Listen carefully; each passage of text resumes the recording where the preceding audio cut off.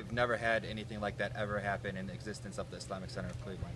It's a first time, and, and it kind of shocked the, the the couple guys that were you know interacting with him at that time. You know, they took they took it in and they, they, they just didn't know what to do. So one ran actually, and the other one just kind of yelled for me to come help him. So He rolled down the window and he um, asked me a question. I didn't hear him clearly until I stepped closer to the car, and he asked me how to become a member.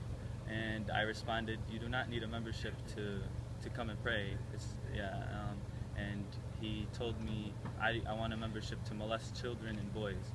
I I got startled. I mean, I didn't understand him, and I'm close to next to the car, and he and then I told him, "Okay, sir, I'm gonna have to have you leave because we don't want that here. That's not the right place for that."